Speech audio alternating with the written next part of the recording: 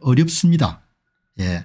개인의 자유와 책임 선택 예. 그리고 집단주의에 휩쓸리지 않고 이렇게 살아가는 거가 너무나 이제 어려운데 이제 오늘은 좀 가벼운 마음으로 예. 제가 자주 이렇게 높게 평가하는 50대 중반의 이 이응준 작가 시인이자 소설가이자 또 고정적으로 이제 조선일보도 이렇게 글을 쓰지만 한국경제신문에 또 며칠 전에 제가 소개를 했죠.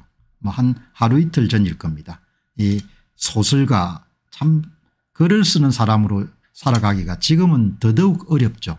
지금은 글의 시대가 아니고 말의 시대고 특히 이제 좌파 노선을 따르지 않고 이 자유주의 노선을 따르는 그런 문인들은 참 뭐 경제적으로도 그렇게 아주 어려울 겁니다. 예.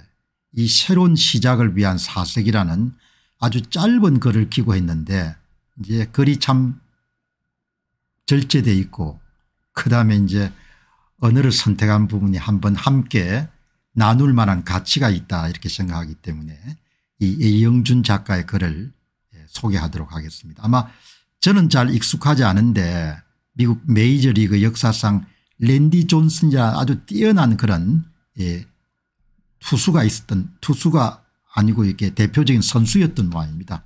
이 선수가 이제 예, 그냥 볼을 때렸는데 그 볼이 공교롭게도 그냥 비둘기인지 샌지를 마치 뭐 랜디가 던지 아이 투수가 맞네요. 랜디가 던진 공에 비둘기가 맞아 적사한 것이다. 그러니까 투수가 볼을 던졌는데 예, 확률적으로 엄청나게 희귀한 확률이죠. 확률을 계산해 보니까 190억 분의 1이다 이렇게 나왔네요. 2020년도 4.15 총선을 확률적으로 보게 되면 은 190억 분의 1이 아니고 수경분의 1입니다. 수경분의 1.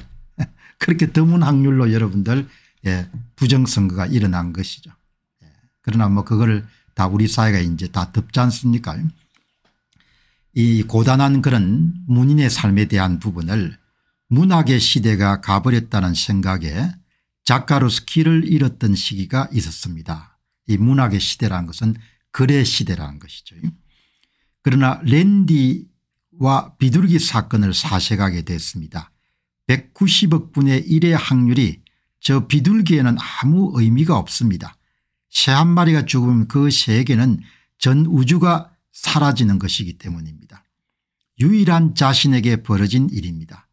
인생은 대단하지 않고 또 대단할 필요도 없지만 이미 저마다 태어날 때 해변의 모래 알갱이들보다 더 많은 190억 개 이상의 우연들을 운명적으로 통과해 태어난 존재들입니다.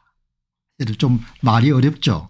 어려운데 사람이 태어난 자체가 기적이라는 이야기인 거죠. 제가 그렇게 해석했습니다. 예. 탄생하는 것 사람이 태어난 자체가 그 기적에 가까운 일인 거죠. 그렇기 때문에 저마다 주어진 인생살이에서 성실하게 치열하게 정직하게 그렇게 살아내야 되는 거죠. 예.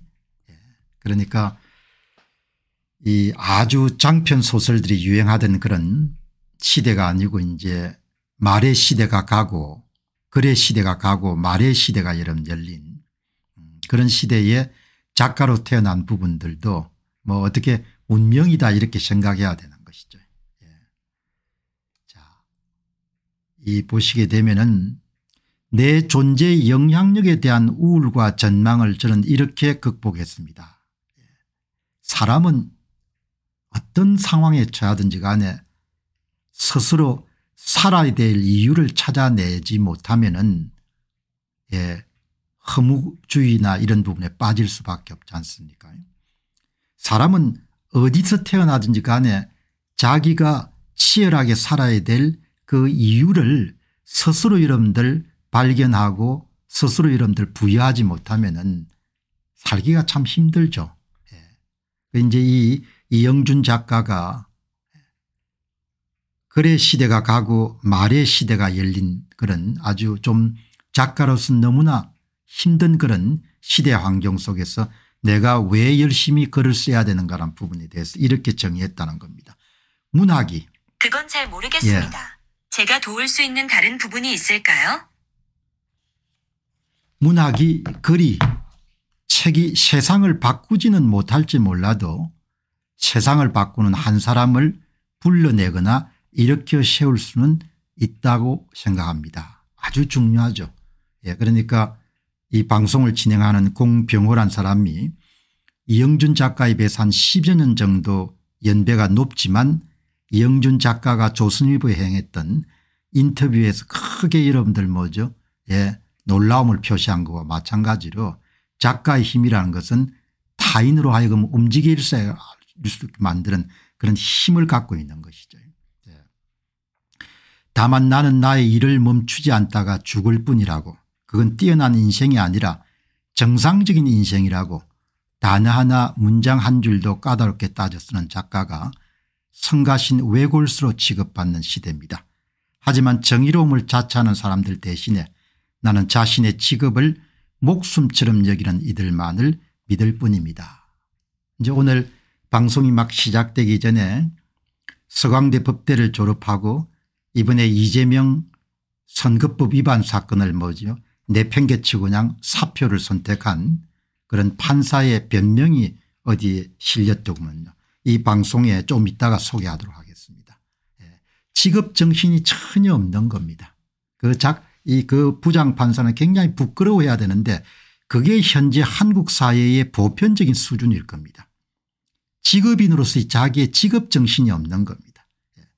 판사는 헌법에 규정된 대로 법과 양심에 따라서 판결하면 되는 겁니다. 예. 예. 뭐 그거를 다 제쳐놓고 주저리주저리 이렇게 변명을 했는데 여기 이영준 작가가 자주 이름 질타하는 것처럼 직업 정신이 빈약한 사회인 겁니다. 정치하는 사람이나 대법관들이나 선관위 사람들이나 언론계 사람들이 직업정신이 이 참 중요하죠. 예. 직업정신이 없는 겁니다. 직업 정신이 없으니까 그렇게 다 정치 시즌이 되면 그 국회의원 한 번 해먹겠다 이런 목을 매는 것도 직업 정신 부재한 사회 속에서 발생하는 아주 기이한 현상인 거죠. 예.